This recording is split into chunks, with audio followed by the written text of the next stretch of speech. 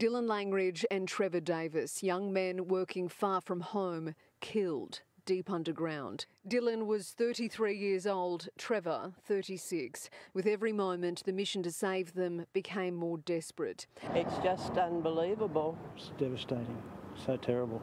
A lot of people probably don't know the miners involved, but it still doesn't matter. We still know them as members of this community.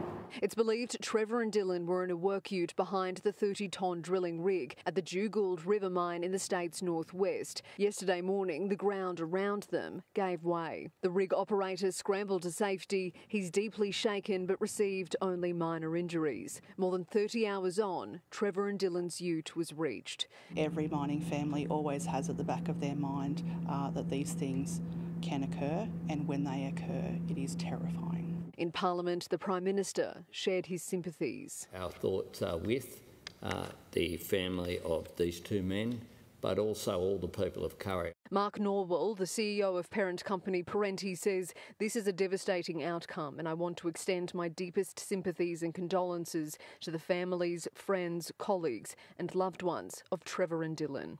Teams worked through the night using advanced drone technology to map the area where the ute fell. Embedded in the rescue team were colleagues, mates of Dylan and Trevor, who worked together, lived together at this site and scrambled to find them. They now join loved ones, grieving the loss of two young men who'll never come home from work